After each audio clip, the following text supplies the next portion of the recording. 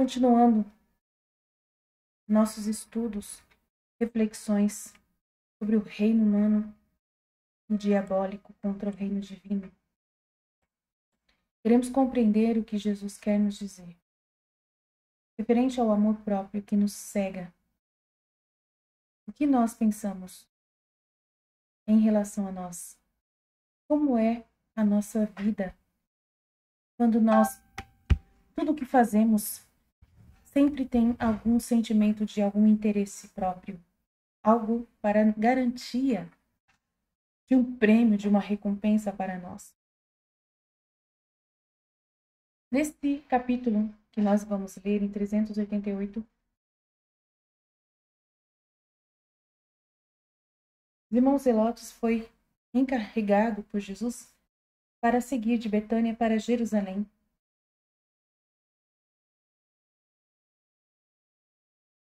Ele pede para Jesus mandar alguém com ele.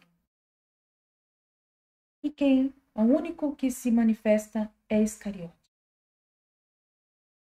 Ele diz: Iremos a Betânia e depois subirei de novo até Quiriote, e lá nos encontraremos, diz entusiasmado Iscariotes. Os outros, ao contrário, esperando como estavam ser escolhidos para aquela viagem que os separaria do Mestre, não estavam tão entusiasmados. Jesus fica pensando e, ao pensar, olha para Judas e Judas insiste: Sim, mestre, fala que sim, dá-lhe esta alegria. E Jesus diz: És o menos preparado de todos, Judas, para ires a Jerusalém. Por que, Senhor? Eu conheço lá melhor que todos. E é justamente por isso. Jerusalém não só é conhecida por ti, mas ela penetra em ti mais do que em qualquer outro. Mestre, eu te dou minha palavra, diz ele, que não pararei em Jerusalém, e por minha vontade não verei ninguém de Israel. Mas deixa-me ir eu esperarei então em Queriote. E não para a expressão para que me prestem honras humanas? Não, mestre, eu prometo. Jesus continua a pensar. Por que, mestre, estás hesitando tanto? Será que desconfias tanto de mim? Jesus diz: Tu és fraco, Judas. E afastando-te da força, cais. Estás sendo bom já há algum tempo. Por que queres ir perturbar-te depois de dar-me desgostos? Mas não, mestre, eu não quero tais coisas. Um dia certamente eu deverei ficar sem ti, e então, como farei se não tiver me preparado? Então tá, vai com Tiago, meu irmão. Os outros respiram aliviados. Tiago suspira por ter que partir, mas docilmente diz: Sim, meu senhor, abençoa-nos. E partiremos. Simão os Zelotes né, que foi realmente quem foi junto, fica com dó e diz: Mestre, os pais de boa vontade se substituem pelos seus filhos para dar-lhes uma alegria. Este eu tomei por filho, junto com Judas. O tempo passou, mas o meu pensamento continua o mesmo. Atende ao meu pedido. Manda-me com Judas de Simão. Eu sou velho, mas sou resistente como um jovem e Judas não precisará queixar-se de mim. Jesus diz: Não é justo que tu te sacrifiques afastando-te do Mestre. Não é Jesus, não. Tiago diz de Alfeu. Judas de Alfeu e Tiago de Alfeu são considera considerados por Simão Zelote como filhos dele. E, e o Tiago diz para Zelotes: Não, não, não é justo que te sacrifiques para ficando longe do Mestre. E o outro diz: O sofrimento se tempera com a alegria de deixar-te em companhia do Mestre. Contar-me-ás depois o que fizeste. Por outro lado, eu vou de boa vontade para Betânia, termina Simão Zelotes, como querendo diminuir o valor de sua oferta. E Jesus decide: então vão os dois, Simão Zelotes e Judas.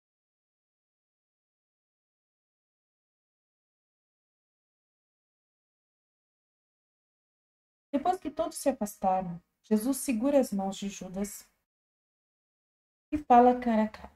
Fica parecendo que ele quer transmitir-lhe o seu pensamento e sugestioná-lo até que Judas não possa mais ter outros pensamentos que não sejam aqueles que Jesus quer. Ele diz: Judas, não faças mal a ti mesmo. Não te faças mal, meu Judas. Não é verdade que não te sentes mais calmo e feliz e livre daquelas sanguessugas da pior parte do teu eu humano? que é uma isca que Satanás está usando tão facilmente e o mundo também? Sim, é assim que te sentes. Pois bem, trata de preservar a paz, o teu bem-estar. Não faças mal a ti mesmo, Judas. Eu leio dentro de ti. Estás agora em um momento tão bom.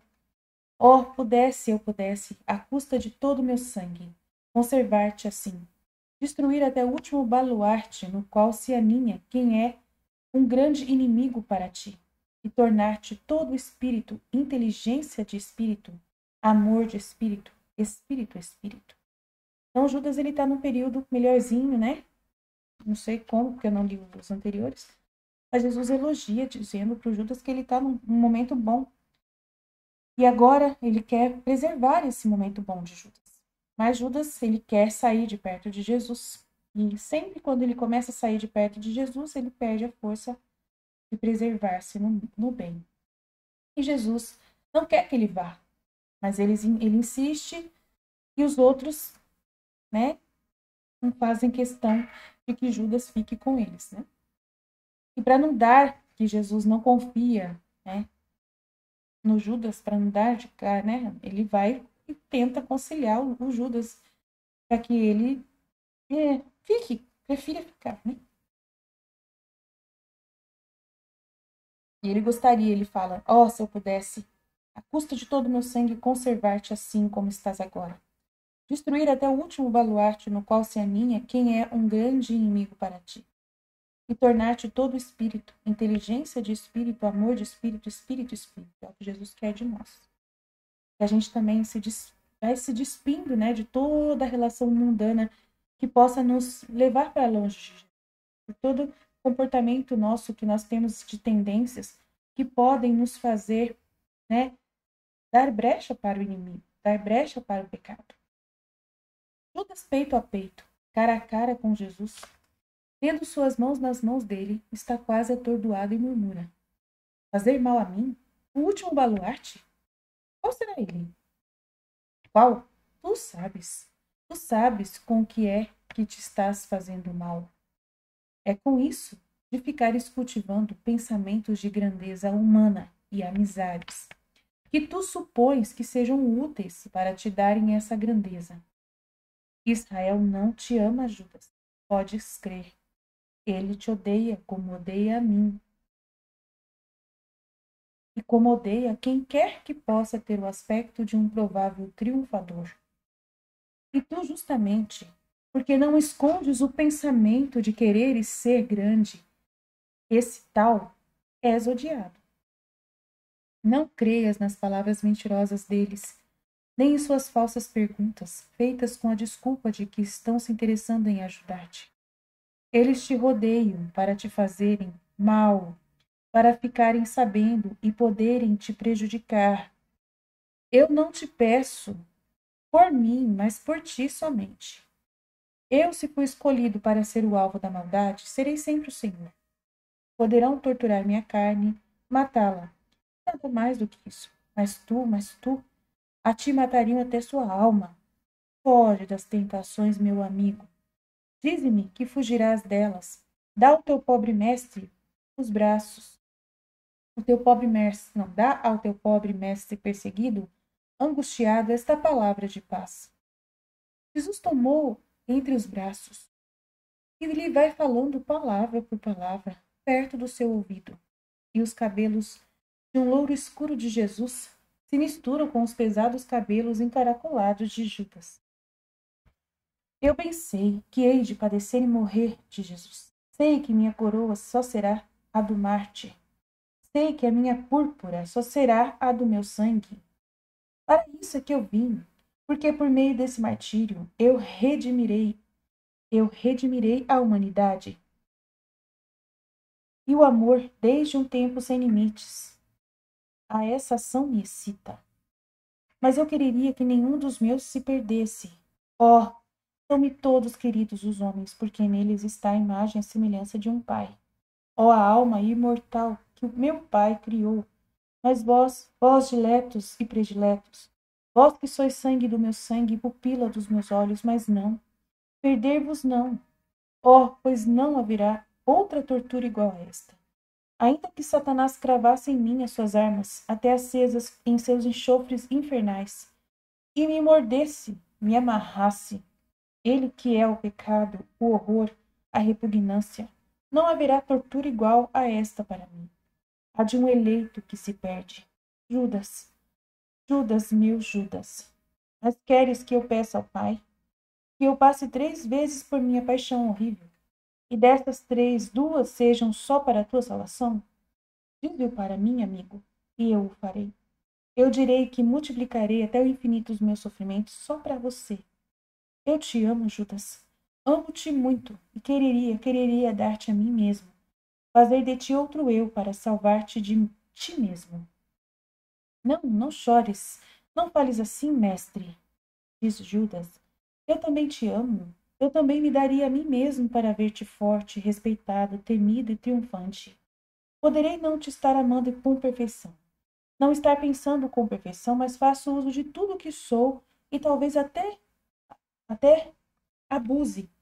E por Javé eu te juro que não me aproximarei nem dos escribas, nem dos fariseus, nem dos saduceus, nem dos judeus, nem dos sacerdotes. Eles vão dizer que eu estou doido, mas não me importa. Basta-me que tu não te aflijas por mim. Estás contente? Um beijo, mestre, um beijo para ter a tua bênção e tua proteção. Eles se beijam e se separam, enquanto os outros já estão voltando, de carreira pelas colinas abaixo e agitando grandes fogaças e pequenos queijos frescos. Acendam-se sobre a erva verde da beira e repartem o alimento, contando, contando quando, como tiver um bom acolhimento porque naquelas poucas casas há pessoas que conhecem pastores discípulos e aceitam bem o Messias. Ah, então ali acabou, né, essa conversa de Jesus e os dois vão para a Betânia, conforme né, Jesus orientou. Eu não sei aonde que Jesus está, porque eu não estou lendo a sequência.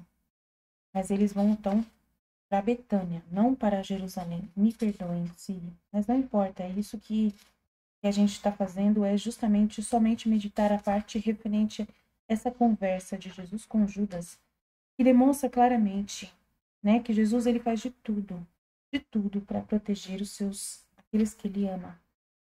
E o amor próprio da pessoa faz com que Jesus possa perdê-la, perder essa alma. Jesus não quer mais perder ninguém. Nunca quis perder Judas. Então nós temos que também não querer perder ninguém daqueles que nos foram dados. Jesus quer que nós sejamos como Ele hoje, que nós lutemos e demos o nosso sangue, se for preciso, pelos nossos filhos, pelos nossos conhecidos, para dar a eles a verdade que é necessária para esse tempo, para que não se aposta, não se apostatem da fé, não se percam. Que o Senhor nos ajude cada vez mais a confiar em Deus. Nos ajude, Senhor. Nos ajude, Senhor. E lá em Queriote, ele, Jesus passa por lá. Vamos ler o que Jesus vai dizer para o povo de Queriote.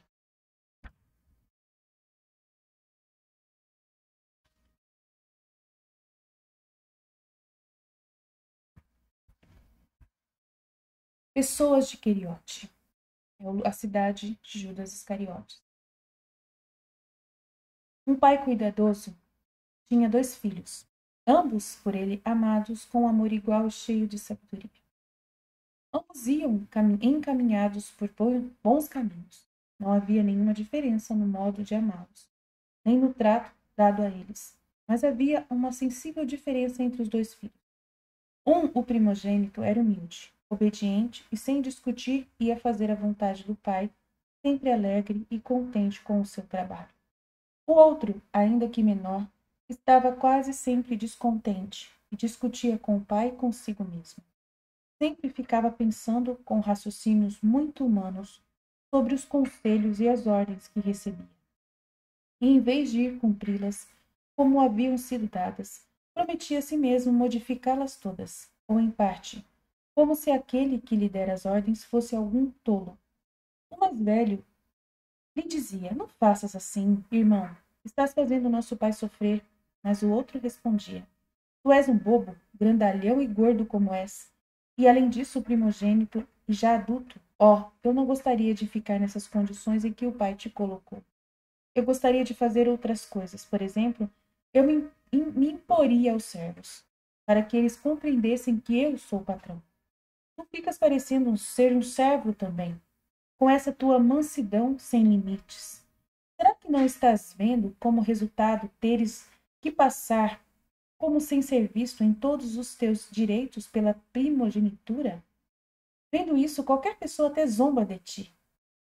O segundo filho estava sendo tentado, e mais do que tentado, ele era um aluno de Satanás, cujas insinuações ele com atenção punha em prática, ao procurar tentar o primogênito. Mas este fiel ao seu pai, ao Senhor a respeito da lei, conservava-se fiel e honrando seu pai, ao qual ele honrava com um procedimento correto. Passaram os anos e o segundo filho, aborrecido porque não podia reinar como queria, depois de ter feito muitas vezes ao pai este pedido, dá-me a ordem de agir em teu nome, para tua honra, em vez de ficar sustentando aquele bobalhão, que é mais manso do que uma ovelhinha. E depois de ter tentado forçar o irmão a fazer coisas sem ordem do pai, para assim impor-se aos servos, aos cidadãos e aos confinantes, disse a si mesmo: Ah, já basta. Do modo como vão as coisas, está em jogo até o nosso bom nome. E como ninguém quer fazer nada, eu vou fazer. E começou a fazer coisas por sua própria cabeça, entregando-se à soberba e à mentira, e desobedecendo sem escrúpulos. O pai lhe dizia: Meu filho, obedece ao primogênito, ele sabe o que faz. E lhe dizia: Disseram-me que fizeste tal coisa, é verdade? E o segundo filho respondia: com um encolher de ombros a cada uma das observações paternas. Sabe, ele é tímido demais e hesitante. Ele perde as ocasiões de ganhar e dizia: Eu não fiz assim. O pai lhe dizia: Não fiques indo à procura de ajuda deste ou daquele. Quem queres tu que te ajude melhor do que nós para tornar ilustre o teu nome? São amigos falsos que te estão incitando para depois se rirem de tuas custas, às tuas custas. E o segundo filho lhe respondia: Estás com ciúme de ser eu quem toma as iniciativas? Afinal, eu tenho certeza de que farei tudo bem. Passou mais algum tempo. O primeiro ia sempre crescendo em justiça e o outro continuava a nutrir as paixões más. Por fim, o pai lhe disse: É tempo de acabar com isso. Ou aceitas o que te foi dito, ou perdes o meu amor. O filho rebelde foi dizer isso aos seus falsos amigos. E tu ficas atado só por isso? Nada disso. Há um modo de pôr o teu pai na impossibilidade de preferir um filho ao outro. Deixa o assunto conosco e nós vamos pensar nisso. Tu ficarás sem culpa material e a posse dos bens se tornará florescente. Porque posto para fora o teu irmão, que é bom demais, tu poderás dar a ela um grande crescimento. Não sabes tu que é melhor tomar uma atitude forte, ainda que dolorosa, do que ficar na inércia? Que faz que se perca o que já se possui? Foi o que lhe responderam. E o segundo filho, já saturado de má vontade, aderiu sem mais àquela indigna tramóia. Agora dizem-me, por acaso pode-se culpar o pai por ter dado dois sistemas de educação aos dois filhos? Poder-se-á dizer que ele foi cúmplice? A vontade do homem, por acaso, lhe foi dada antecipadamente de dois modos? Não. Ela lhe foi dada de um só modo. Mas o homem, por sua conta, a muda. E quem é bom faz a sua vontade boa, ao passo que o mal faz a sua vontade má. Eu vos exorto, a voz de Queriote, e será esta última vez que eu vos exorto a seguir caminhos de sabedoria a seguir somente a vontade boa. Já quase no fim do meu ministério, eu vos digo as palavras que foram cantadas quando eu nasci. A paz é para os homens de boa vontade. Paz, seja o êxito feliz, seja a vitória na terra e no céu, porque Deus está com quem tem boa vontade em obedecer-lhe. Deus não olha tanto as obras antissonantes, altissonantes que o homem faz por sua própria iniciativa mas a humilde obediência, pronta, fiel às obras que ele propõe. Eu vos lembro dois episódios da história de Israel. Duas demonstrações de que Deus não está onde o homem quer agir por si mesmo. Ao contrário da ordem recebida. Vejamos os livros de Macabeus. Neles está dito que enquanto Judas Macabeu com Jonatas ia combater em Galade, ao passo que Simão ia livrar os outros da Galiléia, uma ordem havia sido dada a Simão, a José de Zacarias e Azarias, chefes do povo, para que permanecessem na Judéia para defendê-lo. E Judas lhes disse: Tomai cuidado deste povo e não traveis batalhas com as nações até a nossa volta. Mas José e Azarias, ouvindo as grandes vitórias dos macabeus, quiseram fazer eles também, dizendo: Façamos nós também um nome para nós e vamos combater contra as nações que estão ao nosso redor. E foram feridos e vencidos, e grande foi a fuga do povo, porque não haviam prestado atenção a Judas e aos seus irmãos, pensando ainda que estavam agindo como uns heróis mas era apenas soberba e desobediência. Ao que se lê no livro dos reis, lê-se que Saul foi reprovado uma e outra vez e na segunda foi tão reprovado por ter desobedecido que Davi foi escolhido para o seu lugar. Por haver desobedecido, lembrai-vos, lembrai-vos, por acaso o Senhor quer holocaustos ou vítimas? Ou quer que se obedeça à voz do Senhor? A obediência vale mais do que os sacrifícios e a gordura dos carneiros porque a rebelião é como um delito de magia, e não querer sujeitar-se é como um pecado de idolatria. Agora, visto que rejeitaste a palavra do Senhor, o Senhor te rejeitou para que não sejas mais rei. Lembrai-vos, lembrai-vos, quando Samuel, obediente, encheu de novo o chifre de óleo e foi dada e foi à casa de Isaí, o belemita, visto que o Senhor havia escolhido para si um outro rei, e quando Isaí entrou com os filhos para a refeição, depois do sacrifício, foram apresentados a Samuel os seus filhos. Em primeiro lugar, Eliabe, belo no rosto pela idade e pela estatura. Mas o Senhor disse a Samuel: Não, não fiques olhando para o rosto dele, nem para a altura de sua estatura, porque eu o rejeito. Eu não julgo conforme os modos de ver dos homens, porque o homem olha para as coisas que seus olhos veem, mas o Senhor vê o coração. E Samuel não quis mais tomar Eliabe para rei. Foi-lhe então apresentado a Minadab. Mas Samuel disse: Não é este também o que o Senhor escolheu. Isaí lhe apresentou Samar, e este também não é eleito do Senhor. E assim aconteceu com sete filhos de Isaí, Isaí que estavam presentes à refeição. Então Samuel disse: Estão aqui presentes todos os teus filhos? Não, respondeu Isaí. Há ainda um, mas ainda é menino. Ele está apacentando as ovelhas. Manda então chamá-lo, porque não iremos para a mesa a não ser depois de ter ele chegado. E Davi chegou. Era loiro e bonito, um menino. E o Senhor disse: Unge-o, ele é o rei. Por que ficais sabendo disso para sempre? Deus escolhe a quem ele quer. E outros perdem o merecimento, por ter corrompido a sua própria vontade, com o amor próprio, a soberba e a desobediência. Eu não voltarei mais ao meio de vocês aqui em Queriote, depois dessa vinda. O mestre está para cumprir o seu ministério. Depois ele será mais do que mestre. Preparai a alma para esta hora, porque recordai-vos bem de que assim como meu nascimento foi salvação para os que estiveram à boa vontade, assim também a minha assunção será salvação para aqueles que tiverem sido de boa vontade em acompanhar-me como a seu mestre em minha doutrina.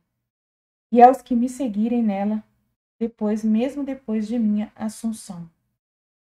É assunção, está escrito aqui, tá? Adeus, homens, mulheres, crianças de Queriote. Adeus. Olhem-nos bem nos olhos.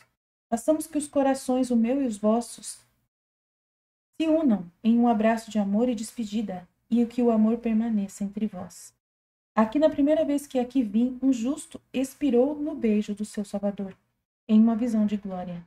Aqui, nesta última vez, eu venho e vos abençoo com amor. O Senhor claramente nos dá muitas orientações.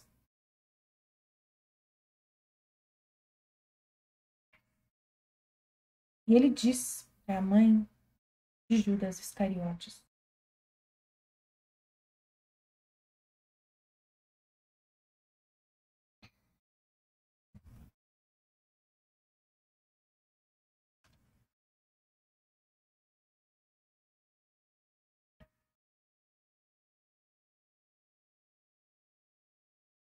Deixa eu ver se eu acho que a parte que ele conversa com ele.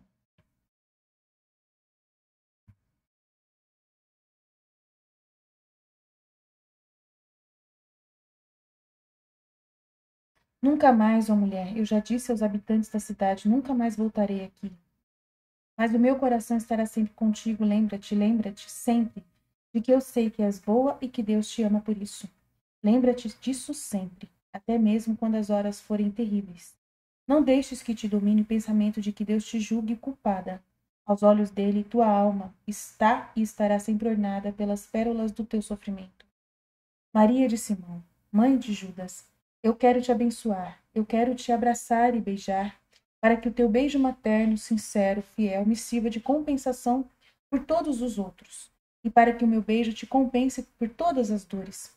Vem, mãe de Judas, e obrigado, obrigado por tudo que me deste de amor e de honra, e abraça e beija a fronte, na fronte como faz com Maria de Alfeu. Eu te suplico, queres fazer-me feliz? Não vás na próxima Páscoa, não. E ela pergunta por quê? Porque haverá um tremendo alvoroço em Jerusalém na próxima Páscoa. Não é lugar para mulheres. Ao contrário, Maria, eu te darei ordens ao teu parente, que vai ficar contigo. Ficai juntos. Precisarás disso, porque o Judas de agora em diante não poderá mais ajudar-te nem vir. E ele diz: Não chores, a vida é breve. Depois me verás para sempre no meu reino ela, ela chora de joelhos e se despedem. Deus abençoe você. Preste muita atenção, ouça de novo. Ouça de novo tudo que Jesus disse. Não seja rebelde. Não julgue as pessoas. Não queira fazer nada por si próprio, né? nenhuma justiça com as próprias mãos. Não queira forçar as pessoas a se converter. Respeite a liberdade do próximo. Não faça nada contra a vontade de Deus. Sempre tenha a justiça e a verdade ao seu lado.